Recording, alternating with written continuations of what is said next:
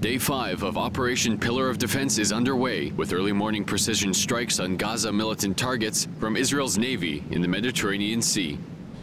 During the night, Egyptian President Mohamed Morsi said there were indications of an imminent ceasefire between Israel and Gaza militants. But as rockets continue to land in Israel on Sunday morning, Israeli officials have said that the operation will continue until they can be certain that people of Israel's south will no longer live under constant fear of rockets.